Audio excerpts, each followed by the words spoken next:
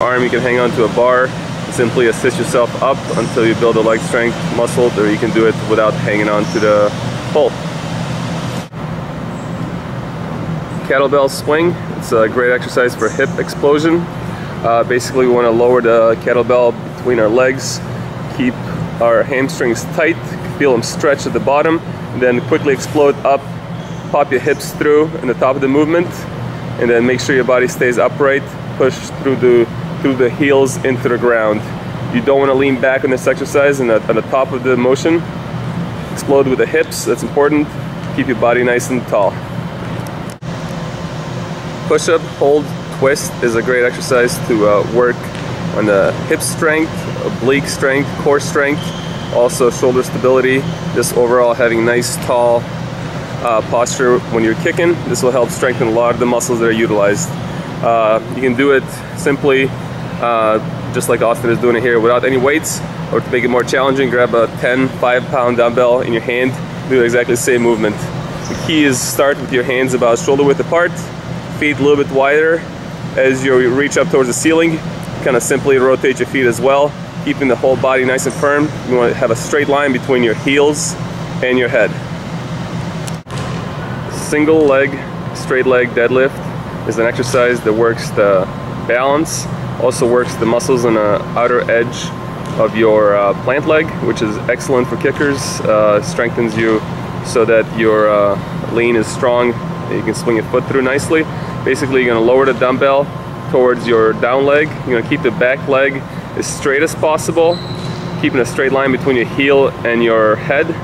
Basically, just bring the dumbbell down towards your foot that is on the ground. The leg that is down can bend you want to keep the back leg as straight as possible. Um, heavier the dumbbell, obviously, the more challenging the exercise. You want to try to get about 10 in a row. If you have to put your foot down between reps, go ahead. Single leg slide squat is a great exercise. Works in a strength um, of, of, basically quads and glutes and balance at the same time, uh, especially in the outer edge of your plant leg. Um, simply you want to slide your foot out uh, and do a one-legged squat on the other leg. Uh, bringing a dumbbell pretty much right towards the middle of your body. This is easier done if you were to wear socks and do it on a hardwood floor. It's very smooth. Or to make it more challenging instead of sliding your leg out you can just simply uh, hover it right above the ground. Hanging knee raises is a great exercise to strengthen the lower lower body core uh, a lot of muscles used in kicking. You want to basically hang from a bar and bring your knees towards your elbows, just like that.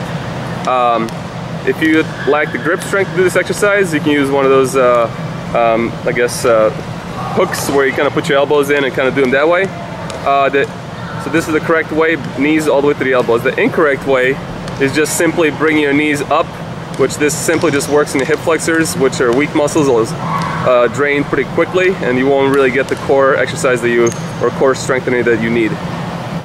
S single leg step ups, um, very simple exercise.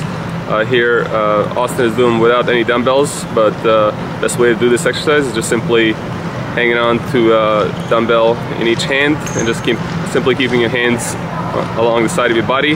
When you step up you want to make sure you stay tall, bring your knee up uh, you don't want to slouch in the waist and you don't want to crouch forward in your shoulders. Nice and tall, look straight ahead. Uh, great exercise to build uh, explosive power in your quads and your glutes.